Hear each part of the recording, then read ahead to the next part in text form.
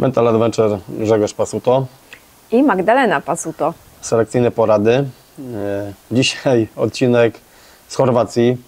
Uznaliśmy, że nie ma co za dużo czekać, bo robi nam się luka w tych materiałach, a tematy nas gonią, a z racji, że teraz, gdy tu nagrywamy, mamy czerwiec, a selekcje z reguły są w miesiącach październik, listopad, to trzeba zacisnąć pasa i robić treningi.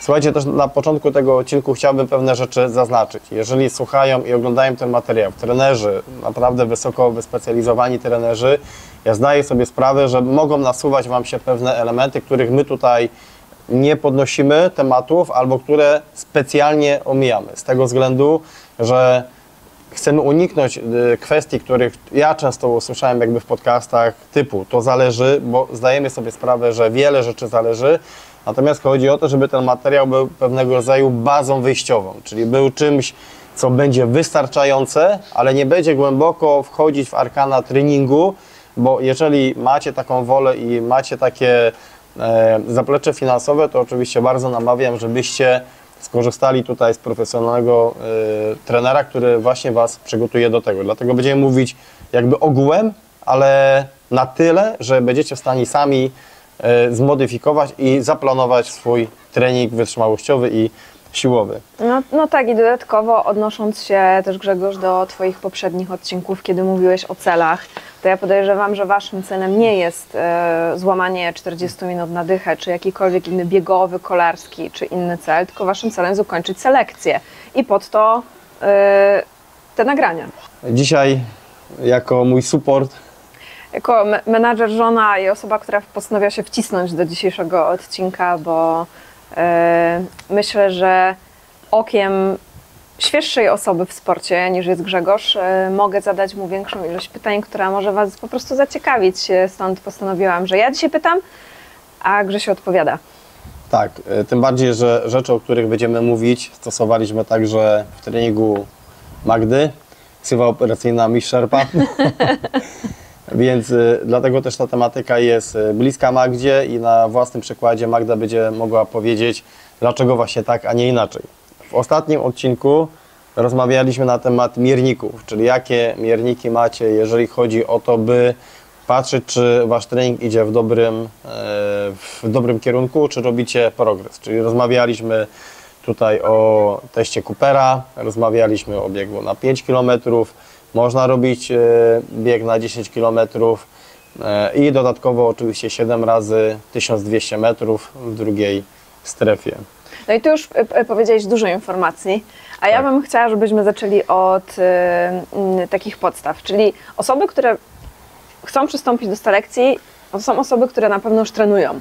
Tak? I, I tak samo było w moim przypadku, nie że ja do jakiejś selekcji, nie o to chodzi, ale też było, żeby osiągnąć progres, musiałam zrobić krok w tył, ale od początku.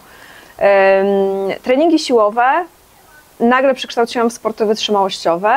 Zaczęłam trenować bieganie już pod okiem Grzegorza.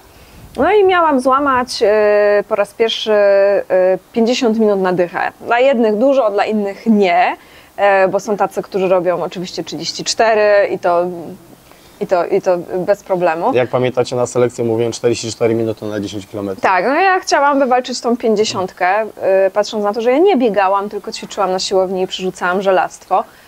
Yy, no i nie wykręciłam tego wyniku, chociaż się bardzo długo, yy, długo, no przez rok się przygotowywałam, tak dość mocno. No i Grzesiek powiedział, dobra, dobra, trzeba zrobić krok w tył. No i co zrobiliśmy? No właśnie, bo dzisiaj sobie rozmawiamy o tym, w jaki sposób Wy macie sobie zaplanować treningi ogólnie wytrzymałościowe. Też tutaj fajną rzecz Magda powiedziała, że Magda była królem ogólnie treningu siłowego, bo wywodzi się z dziedziny fitness i treningu siłowego, E, ale o tym też jakby porozmawiamy sobie później. Natomiast e, następne trzy odcinki będą na, e, będziemy omawiać właśnie kwestie treningowe, czyli jak dobrze zaplanować właśnie Wasz trening.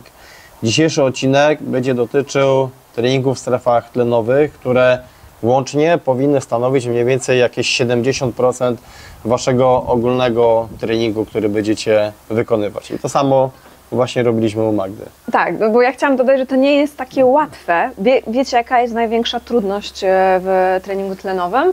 Ego. A kiedy biegniesz, albo nawet czasami idziesz, żeby utrzymać się w pierwszej strefie i wyprzedzać się na przykład osoba z, z nadwagą, no to co twoje ego mówi? Goń, goń, nie? A ty musisz się powstrzymać, więc myślę, że na pewno ten, ten mentalny wątek należy dzisiaj też poruszyć. No tak, ale jakby co jest istotą treningów tlenowych, albo co, y, o co tak naprawdę w tych treningach tlenowych chodzi? Głównie chodzi o źródło czerpania energii, którą e, Wy pobieracie właśnie w trakcie treningu. I tu to jest jakby tutaj kluczowe. Żeby to zobrazować, to łatwo sobie, jak cofniemy się w przeszłość, to przykładowo robiliśmy turę skiturową, gdzie ja szedłem swoim tempem i była to moja pierwsza, druga strefa właśnie tlenowa, a Magda w tym samym czasie szła w czwartej lub piątej strefie. Ogólnie można powiedzieć celu, więc e, jakby głównym celem i głównym elementem, przy którym u Magdzie musieliśmy zwolnić, jest e, źródło czerpania energii. I w inny sposób pozyskujemy energię w sytuacji, gdy wykonujemy trening tlenowy. Jeżeli mówimy tu o Garminie, czy Sunto, czy jakiejkolwiek innej platformie treningowej, z reguły jest to pierwsza, druga strefa. Pierwsza to jest z reguły regeneracja, druga to jest właśnie trening tlenowy, ale można powiedzieć, że ta pierwsza, druga strefa to będą właśnie te treningi, które będą nas interesowały i to powinno być 70% waszego ogólnego planu treningowego. I tak jak właśnie powiedziałem wcześniej, w sytuacji, gdy załóżmy, robiliśmy turę na Kasprowy, ja idąc swoim tempem szedłem w pierwszej, drugiej strefie, a Magda szła wtedy załóżmy czwartej lub na progu.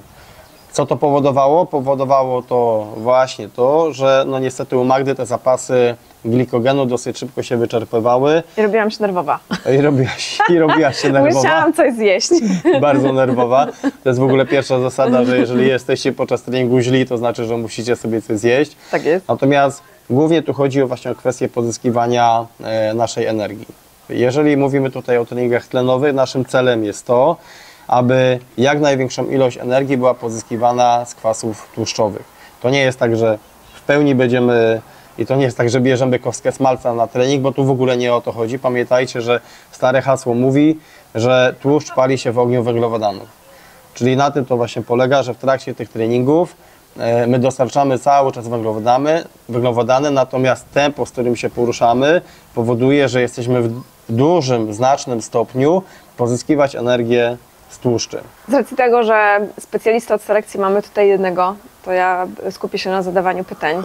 E, Mogę też coś dopowiedzieć ze swojej perspektywy bycia e, przez wiele lat trenerem personalnym, przez wiele lat też instruktorem fitness. Co ciekawe, mm, instruktorzy fitness e, podczas swoich treningów pracują na, trzecim, na trzeciej, czwartej strefie, czyli jest dość wysoko, no chyba, że to jest yoga lub jakieś inne zajęcia. Natomiast typowe fitnessiary, dobrze dziewczyny o tym wiecie, jeżeli któraś nas słucha, to jest trzecia, czwarta strefa, no i nagle potem okazuje się, że e, tak, ani się fajnie nie wygląda, bo, bo trzeba to potem nadrobić tą kalorykę, e, ani się człowiek jakoś specjalnie dobrze nie czuje, e, więc co e, powoduje ten trening tlenowy?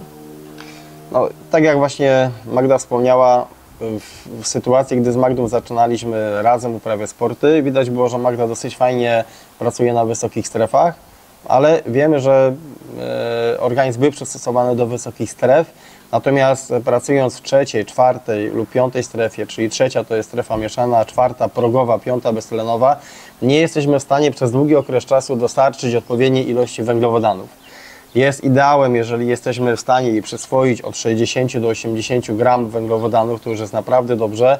Sportowcy na wysokim wyczynie, tacy jak Kilian Jornet, potrafią przystosować i przyswoić nawet 100 gram węglowodanów. Natomiast y, realnie nie jesteśmy w stanie e, przyswoić i spożyć tyle tych węglowodanów, żebyśmy mogli efektywnie kontynuować bieg lub jakąkolwiek inną e, wysiłek fizyczny w tej strefie treningowej. I Wtedy rozmawialiśmy głęboko właśnie co trzeba zrobić i uznaliśmy, że trzeba po prostu zwiększyć ci strefę tlenową, czyli jeżeli na chwilę w tamtym czasie twoja trzecia i czwarta strefa była na takim poziomie, to twoja druga strefa była na takim poziomie. Obrazując to oczywiście, tak? Więc chodziło o to, żeby zrobić e, odwrotną właśnie rzecz, czyli żeby strefa tlenowa była jak największa, a strefa trzecia utrzymała jakby swoje tutaj e, wymiary, to oczywiście nie jest do końca wszystko możliwe, bo pracując nad daną cechą motoryczną czy wytrzymałościową, nie jesteśmy w stanie przykładowo zwiększać wytrzymałości i szybkości. To jest e, ciężkie. Bo ja mam takie wrażenie, że y, często osoby, które są już kilka lat w sporcie, w pewnym momencie mogą spotkać się z taką ścianą. No kurde, nie mogę już szybciej, nie mogę więcej. I to jest właśnie ten moment, w którym powinniśmy zrobić krok w tył i wyszerzyć właśnie tą pierwszą i drugą strefę. No i Ale- y, u mnie to wygląda, no, okej, tak, tak, ale... tak, tylko to właśnie zależy od przeszłości, jaką ma dany zawodnik, bo jeżeli przykładowo dany zawodnik dosyć mocno ma rozbudowaną bazę tlenową, to może się okazać, że będzie musiał zrobić krok wstecz przykładowo i zwiększyć swoją szybkość. Więc to jakby wszystko zależy z jakiego sportu ty się wywodzisz, lub y, może być tak, że przykładowo nie uprawiałeś żadnego sportu, ale wiemy, że osoby, które w młodości trenowały karate, kung fu, sztuki walki, mają dosyć właśnie fajnie rozwinięte te strefy czwarte, piąte, beztlenowe, bo y, robią treningi, robią sparingi. Wiemy znowu, że przykładowo osoby, które, czy chociażby piłkarze, tak, to tak samo jest y, dosyć mocne tutaj y, predyspozycje do treningu interwałowego i tu na przykład trzeba będzie popracować nad bazą, tak, więc wszystko zależy co wcześniej uprawialiśmy, jak nasz organizm był eksploatowany w młodości. I na pewno musisz przyjrzeć się temu, w czym byłeś dobry w najmłodszych latach, bo występuje oczywiście coś takiego jak pamięć mięśniowa i jeżeli przykładowo, e, mimo że teraz miałeś przerwy, załóżmy nawet 5 czy 10 lat, to Twój organizm na pewno, jeżeli wcześniej uprawiałeś jakiś sport, będzie miał łatwiej wykonać kwestię adaptacyjną, bo motorycznie nie jesteś rozwinięty na dobrym poziomie. U Ciebie to było, że Ty trenując fitness pod kątem motoryki byłaś na bardzo wysokim poziomie, natomiast właśnie nie miałaś rozwiniętych stref tlenowych. Dobra, no to wiemy, dlaczego powinniśmy trenować w strefach pierwszej i drugiej, tak?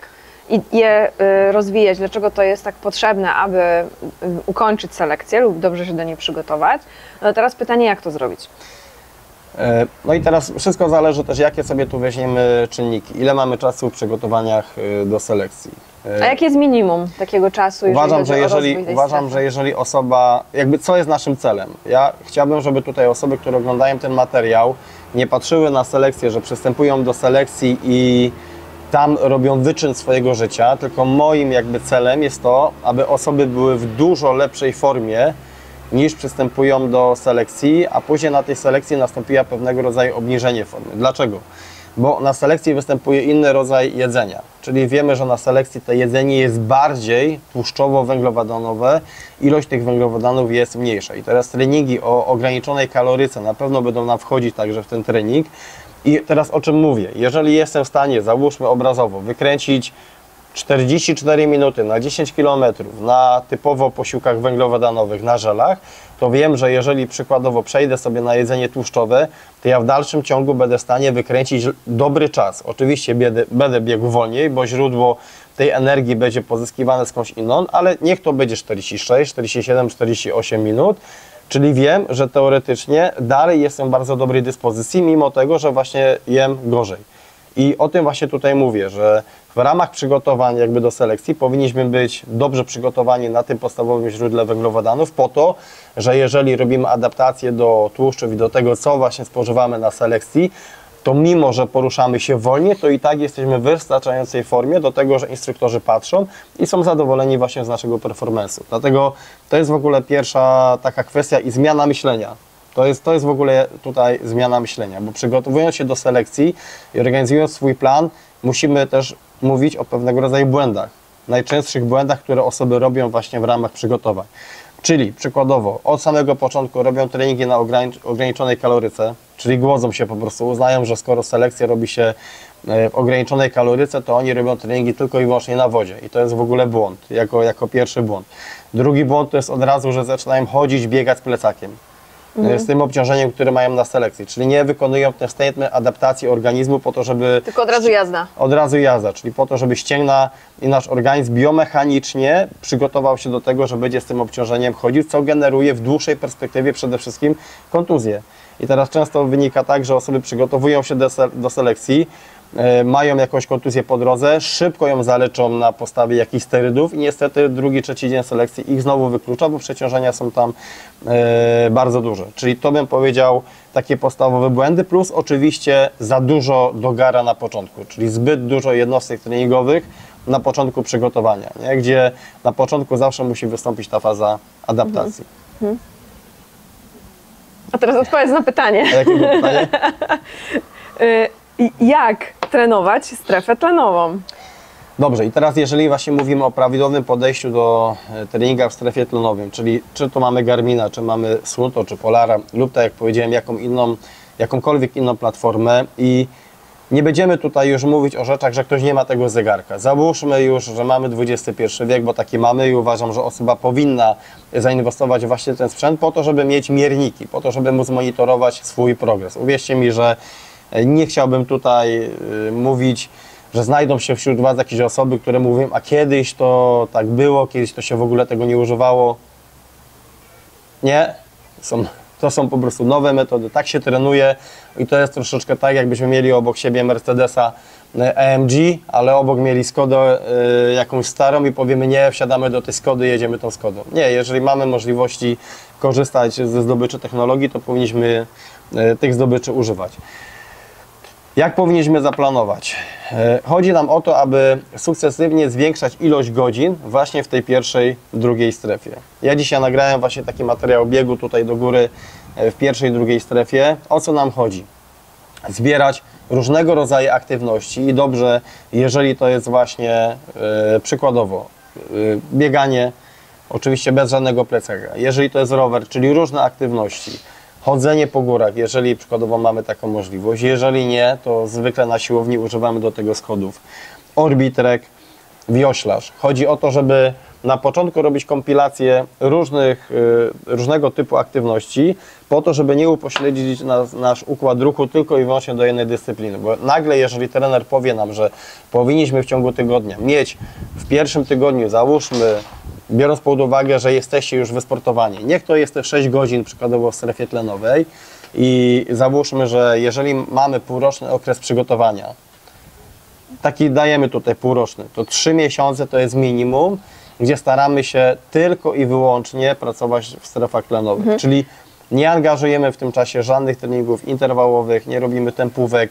E, idąc przykładowo pod górkę, stricte trzymamy się tej pierwszej, drugiej strefy, dlatego, bo jeżeli mamy zaplanowany przykładowo dwugodzinny trening właśnie w pierwszej, drugiej strefie, to wystarczy, że chociaż na chwilę wejdziemy w trzecią, czwartą strefę, zaciągniemy dług e, tlenowy, ale też zaciągniemy dług e, pod postacią glikogenu i ciężko będzie nam znowu cofnąć ten organizm do tego, żeby on znów czerpał energię z tłuszczy. Czyli jeżeli zrobimy wahadło do góry, ten organizm będzie już rozregul- rozregulowany. A chodzi o to, żeby na początku dać mu czas właśnie do tej adaptacji, żeby on spokojnie mógł sobie wykształcić e, właśnie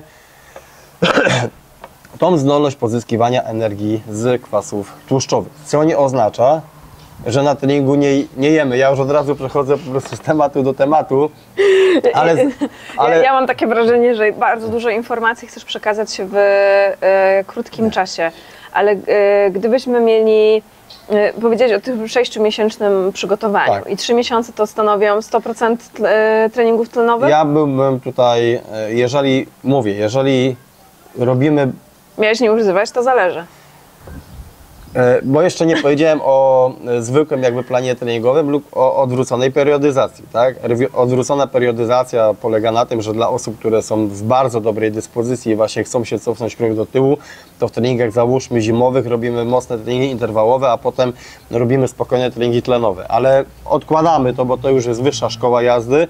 Bierzemy pod uwagę, że, e, że jesteś osobą, która jest osobą aktywną i chce to zrobić w taki sposób właśnie, w jaki mówimy, to uważam, że jeżeli chodzi o 6-miesięczny okres przygotowania, to tak, 3 miesiące to jest taki okres właśnie treningów tlenowych, gdzie oczywiście trener, czy nawet ty, jeżeli sobie sam rozpisujesz ten trening pod kątem różnych aktywności, na początku będzie skakał po różnych właśnie przyrządach, czyli jeżeli na początku będzie to w ciągu tygodnia 8 godzin tlenowych, gdzie przykładowo 2 godziny to powinien być trening weekendowy, gdzie 2 godziny powinieneś ciągiem wykonywać te ćwiczenia, a pozostałe 6 godzin rozbite w ciągu danego tygodnia może Tobie nawet spokojnie po godzinie właśnie y, korzystając tutaj z różnych form aktywności, to tak, to 3 miesiące to będzie taki basic, jeżeli chodzi o strefy tlenowe, gdzie nie wchodzimy na żadne wysokie strefy Dobra, treningowe. co po tych trzech miesiącach?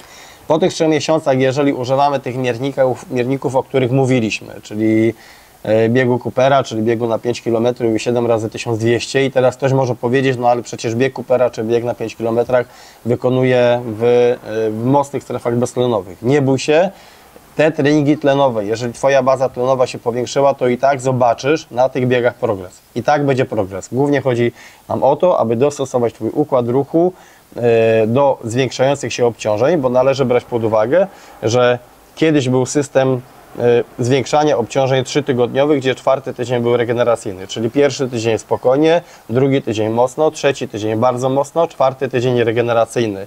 I znowu ta piramidka nam idzie do góry, do góry, gdzie każdy następny początek tygodnia, każdego cyklu już był troszeczkę mocniejszy. Teraz się od tego odchodzi i robi się stałą periodyzację, czyli chodzi o to, żeby zwiększać czas przebywania w strefach tlenowych.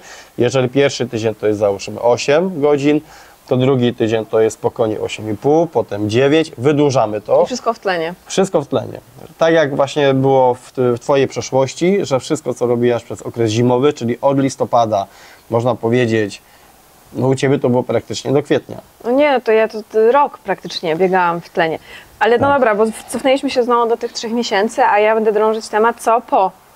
Jak potem rozbić treningi? Ile procent stanowią treningi tlenowe, ile Okej. procent stanowią treningi Bio- mieszane? No dobrze, i teraz biorąc pod uwagę tylko to, co mówimy, bierzemy na chwilę obecną ten okres jakby sześciomiesięczny. Jeżeli masz więcej do przygotowania, czyli rok przykładowo czasu do przygotowania, to oczywiście nie będą to 3 miesiące, tylko najlepiej, optymalnie jest, jeżeli okres trenowania bazy tlenowej to jest około 4-5 miesięcy.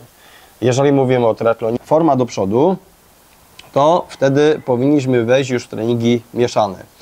Czyli to mówimy tutaj, je- jeżeli znowu weźmiemy sobie Garmina, akurat trzecia strefa treningowa, troszeczkę yy, pracy na progu. Ja znowu tutaj będę podchodził z mojego doświadczenia, to co z reguły ja jakby widzę.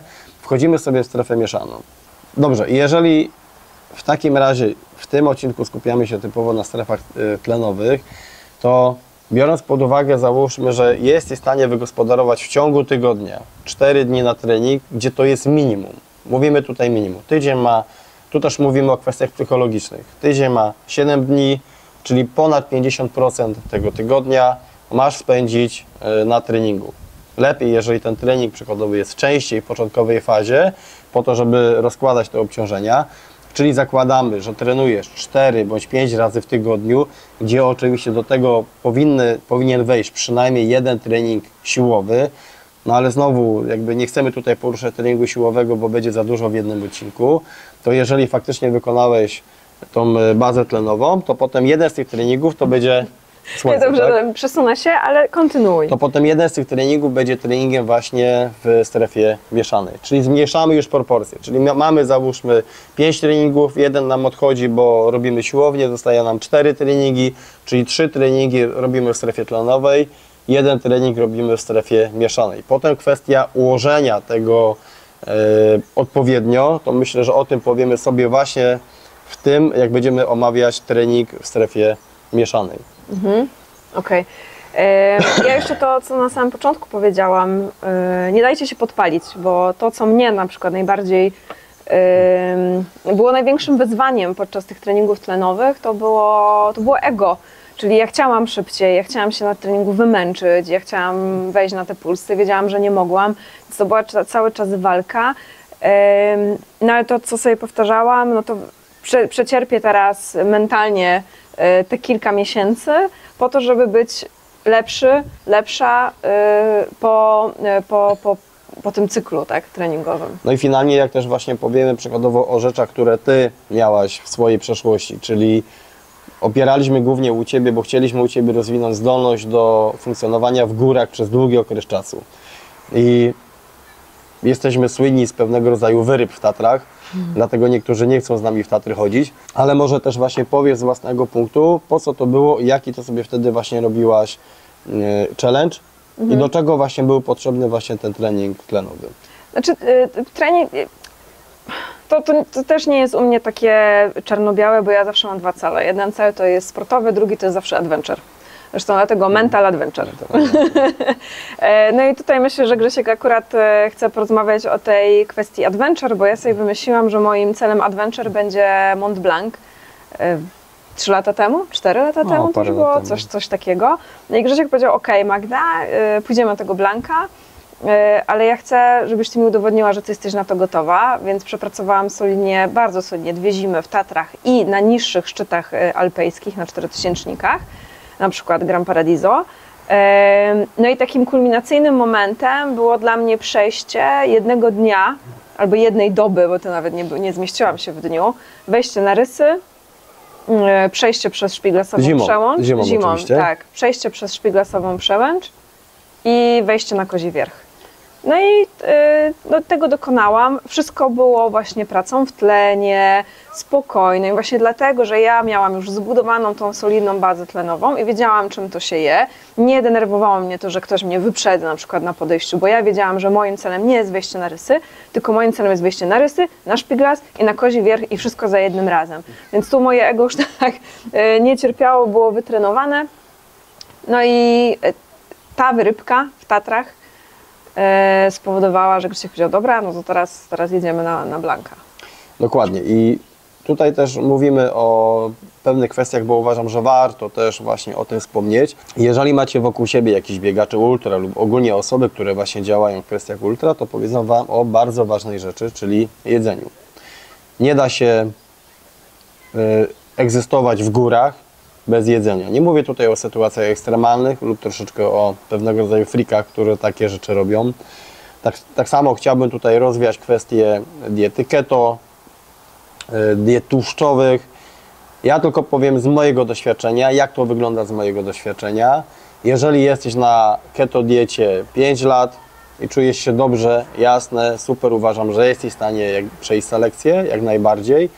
Natomiast jeżeli jesteś rok, dwa, nie ryzykowałbym, nie? Z tego względu, że wiele osób będąc na keto diecie lub na diecie tłuszczowej po prostu odpadało na selekcji, z tego względu, że żeby prawidłowo, jak dobrze wiecie, pracować właśnie na keto, y, no to ta dieta jest bardzo restrykcyjna, a jednocześnie macie ograniczone tutaj kwestie doboru jedzenia na selekcję. Więc nie jesteście w stanie korzystać przykładowo, no to nie jest tak, że nie weźmiecie czekolady i weźmiecie za to dwie puszki, dwie puszki y, przykładowo mielonki. No nie, no tak się po prostu nie da. Dlatego z mojego doświadczenia wynika, że będąc po prostu na diecie tłuszczowej będziesz miał ciężej. Chyba, że tak jak powiedziałem, jesteś od kilku, kilkunastu lat na takiej diecie, to na pewno wtedy już znasz swój organizm bardzo dobrze. Natomiast jeżeli mówimy tutaj o kwestii jedzenia, to y, szczególnie w tej początkowej fazie treningu powinieneś brać pod uwagę, że jeżeli faktycznie jesteś na wysiłkach powyżej godziny, no to powinieneś korzystać z tych źródeł węglowodanów, które dla Ciebie są korzystne. I teraz jeżeli tutaj mówimy mm, o momencie przejścia na te właśnie jedzenie troszeczkę bardziej tłuszczowe albo takie jedzenie, które jest bardziej na selekcji, to one będzie występować w czwartym, piątym miesiącu treningowym. Na początku raczej bym się skupił, żebyś korzystał z tych źródeł węglowodanów i przyspieszył to działanie organizmu na tym, co ci, na tym, co ci wchodzi. Spokojnie mogą to być żele, mogą to być batony, nie ma tutaj problemu. Chodzi o to, żeby Twój organizm był nauczył się po prostu jak najlepiej przyswajać węglowodany, a uwierzcie mi, z mojej perspektywy i ja też to czasem robię, że podczas treningu jem za mało. Po prostu jem za mało. I to jest twój słynny podjazd na Blockhouse. na przykład. Jest, y, w, w tamtym roku właśnie też troszeczkę eksperymentowałem z keto i, i to się nie udało. Nie? Jeżeli chodzi o trening wytrzymałościowy, słuchajcie, to się nie udało. Ale wjechałeś. Ale wjechałem.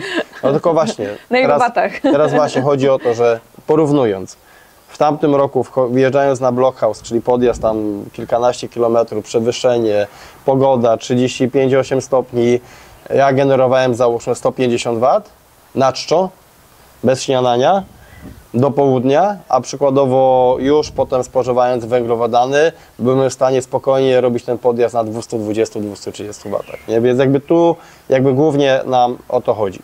Więc chodzi o to, żeby przez pierwsze miesiące jeść dużo węglowodanów, przyswajać to tak możliwie, jak to jest najlepsze, zobaczyć, co jest dla Ciebie dobre, pilnować to, że e, po godzinnym wysiłku, e, na jedną godzinę wysiłku spożywamy 60 gram wę- węglowodanów, najlepiej, jeżeli jest to 60 lub więcej, w formie, w której przyswajasz to. E, I dopiero potem przechodzisz troszeczkę na te jedzenie stałe, gdzie tak, czasem właśnie wrzucasz jakieś już kanapki w ramach tego treningu i w górach już będziesz sobie tam działał na kanapkach, na zwykłej bułce. Natomiast to już dopiero będziemy włączać w późniejszym procesie treningowym. Dobra, czyli reasumując, trening tlenowy powinien stanowić naszą bazę treningową w przygotowaniu do selekcji. Nie powinniśmy omijać węglowodanów, nie powinniśmy y, ograniczać się tylko do jednej dyscypliny sportowej, raczej łączyć rower, bieganie, chodzenie po górach, tak? Plus siłownia. Plus siłownia. Plus siłownia. Siłownia matką wszystkich sportów. Dokładnie. Czy coś jeszcze byś dodał do tego? No nie, chodzi o to, żebyście mieli świadomość właśnie tego, że poprzez dobry trening tlenowy, różnorodny trening tlenowy, przede wszystkim poszerzacie, poszerzacie strefę tlenową waszego organizmu, która jest kluczowa na selekcji. Po drugie, robicie adaptację biomechaniczną, fizjologiczną waszego układu mięśniowego do stopniowego zwiększania y, obciążeń treningowych.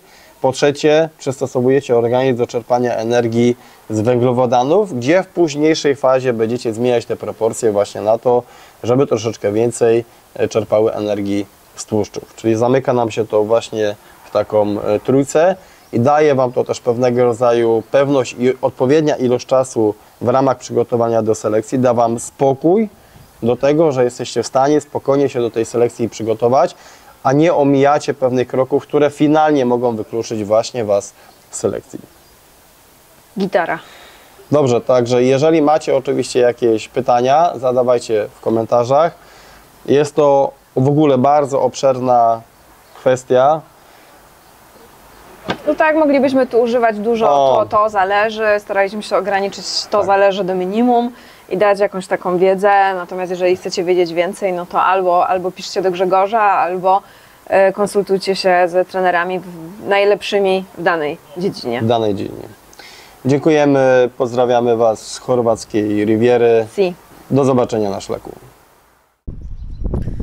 Ok, wychodzimy na trening z psem. Dzisiaj, z racji, że jestem po Alpach i potrzebuję trochę rozbiegania, a jestem w takim terenie, gdzie tu jest po prostu góra, dół, góra, dół, to dzisiaj trening spokojny, tlenowy. Czekam na Jeepsa. Czyli dzisiaj spokojne takie trening, jakieś 7-8 km biegowych w tlenie czyli w pierwszej, maksymalnie w drugiej strefie tlenowej I, i wolno. Wolno, bez jakiegoś gonienia. Chodzi o to, żeby dla mnie w ciągu dwóch tygodni wakacji nazbierać możliwie dużą objętość. Dużą objętość, czyli jeżeli robię dużą objętość, to staram się zrobić mniej więcej lżejszą intensywność, no bo te dwa parametry nie mogą iść razem. Jeżeli będziecie, jeżeli będziecie chcieli dużo, intensywnie, to to niestety nie wypali i zajedziecie organizm, a chodzi o to, żeby wrócić, tak jak w moim wypadku wrócić do kraju i wtedy wejść na intensywność i wtedy szczelić dosyć dobrze z formą. Także tak jak teraz mówię, jak tu są wakacje i chcemy robić tego więcej, to na pewno chcemy robić tego lżej. Testujemy hoki, speedgoaty, speed goals, piątki, zobaczymy jak się sprawują. I słuchajcie, co to oznacza? Zobaczcie na tempo. To jest ogólnie świński trukt, ale chodzi o to, widzicie? Cały czas jestem w pierwszej strefie. Ewentualnie mogę przejść do drugiej strefy, czyli w Garminie to będzie niebieskie pole, ale nie chcę wejść już w trzecią, w mieszaną. Czyli nawet jak będzie zbyt duże kąt nachylenia, to przechodzę do marszu. Bo finalnie chodzi o to, żeby w tygodniowym rozkładzie mieć właśnie parę godzin takiego treningu w tej pierwszej, drugiej strefie.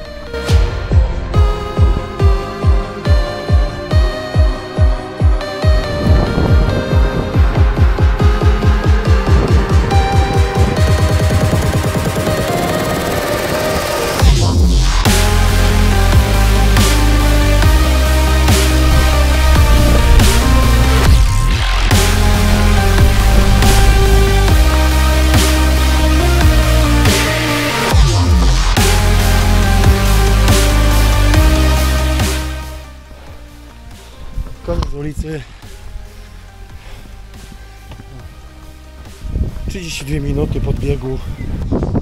Bardzo fajnie. Słuchajcie, chatka na sprzedaż. Podaję numer telefonu 098 361 Dom na sprzedaż, słuchajcie, z takim widokiem.